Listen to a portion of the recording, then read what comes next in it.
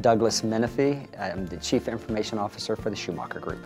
Schumacher Group is the third largest and fastest growing physician practice management company in America. We service over 200 hospitals providing emergency medicine physicians to them. We see approximately 4 million patients on an annual basis. The services that we're using on AWS uh, range from EC2 to the S3 services. We're utilizing S3 for a lot of archival image information that's being backed up into it, as well as a lot of data that's being stored in SQL environments. One of the strategies that Schumacher Group has has been to migrate our business intelligence environment into AWS services. And we've been one of the early adopters of the Redshift application. One of the major reasons of transition for Schumacher Group was our ability to be agile and to respond to the business need a critical project came up for the organization. It would have taken us seven to eight weeks to provision and procure the equipment and another three to four weeks to get everything configured and start to bring business value to our customers. What we were able to do is bring it up at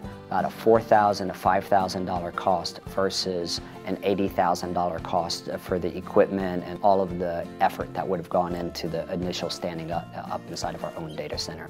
Healthcare changes at the sign of a signature of a president, a governor. We need to be able to be very responsive to the business users.